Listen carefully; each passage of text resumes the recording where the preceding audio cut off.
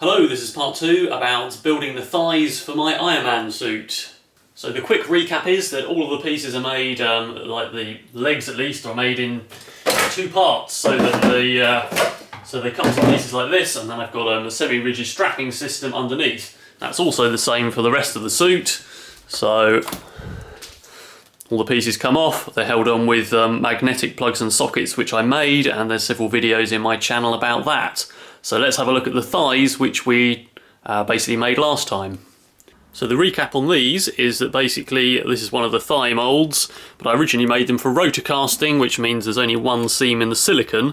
Um, normally with a fiberglass mould you have a, a mould that's completely in two halves, so you can fiberglass into each half, put them together, then patch up the seam line.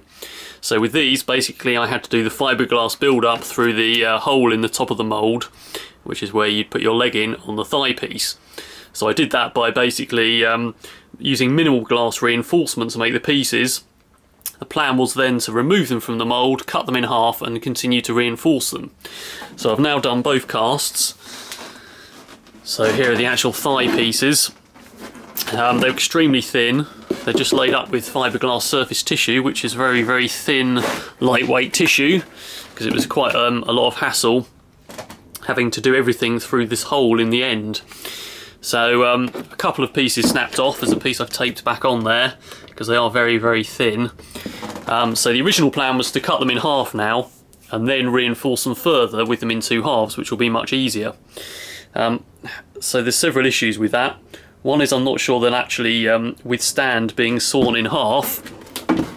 They're quite rigid, but I think that if I if the saw binds or you know it gets stuck as I'm cutting it, then they're probably going to shatter so I think at least the plan is to put thicker fiberglass down where the where the seam line is going to be before cutting them.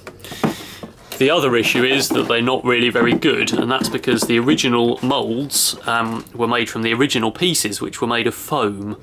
So you can see that um, quite a lot of the lines in them are quite bendy. So um, that's basically because the foam has warped during the moulding process, so there's all sorts of lumps and bumps on them. So they need quite a lot of sanding down and um, cleaning up, and, and some of it's just absolutely terrible.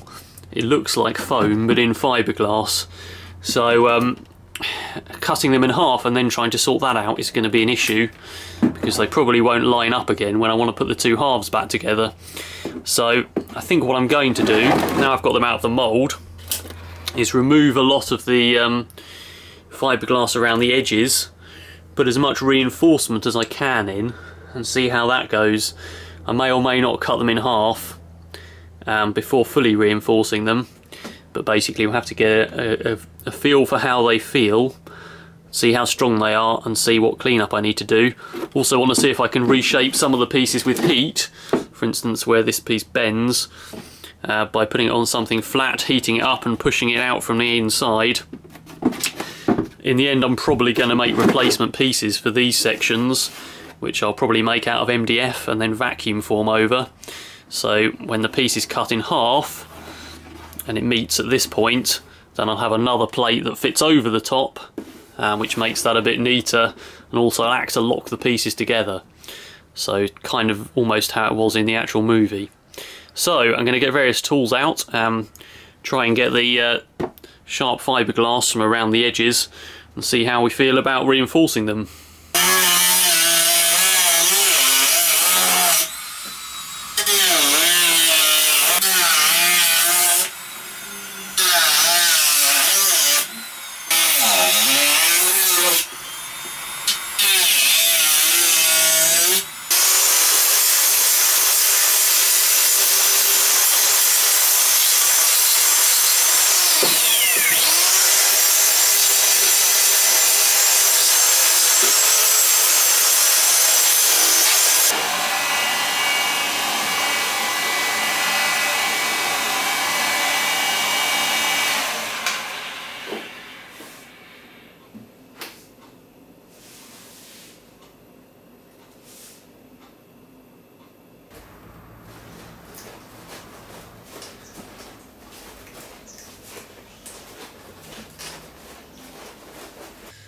Okay, so I've straightened up a few of the lines, which are they're not perfect. There's a lot of imperfections still. Um, and I've also brought in this piece closer together because they were a bit too wide because the foam had warped again when I'd moulded them. So now they look not too bad. Um, they basically seem to match the lower legs anyway. So, and they fit me. So that's really good. So the next thing is I'm going to do some more fiberglass reinforcement. Now I've opened up the tops a bit and we'll see what happens next.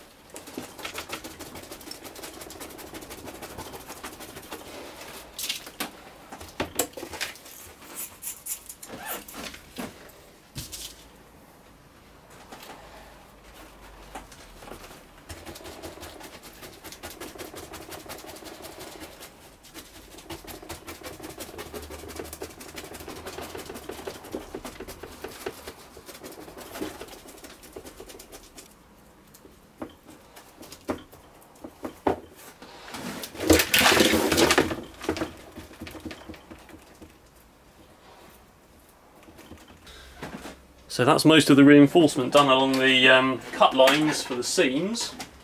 So I'll let that go off. And I think I am going to cut them in half next, then we'll do the rest of the reinforcement.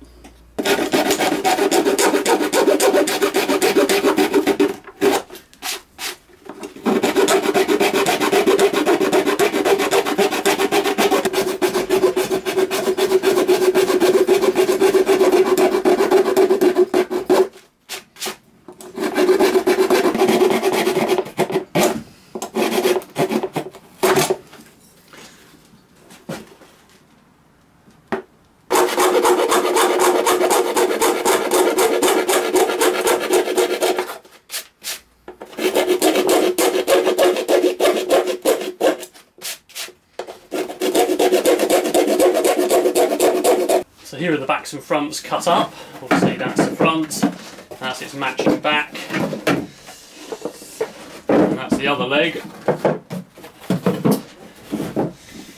So basically now it's going to be much easier to go and do fiberglass reinforcements in here. Now that it's open, now I can easily get my hand in, get my brush in, get the fabric in. I'm not going to end up with polyester resin up my arm and so on. So um, it's not very interesting watching me do fiberglass layouts, so I'm not going to make a film of it but that's the next thing I'll do and then I have to do a lot of sanding and filling try and sort out these imperfections. So next time uh, when we come back I'll be building the exoskeleton for the thighs and hopefully these pieces will be ready and I'll be showing you how I'm fixing them on and also how I'm making the replacement side panels which I mentioned which are going to be a separate piece that fits on over this. Be putting pictures on the website, which is xrobots.co.uk, and there's also a Facebook page, which is in the description of this video.